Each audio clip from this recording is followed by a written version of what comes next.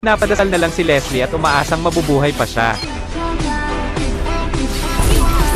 Banin palang tinanong ko na agad sila kung tatapusin ko na ba. At sa di inaasahang pangyayari nag-all marksman ang mga kalaban.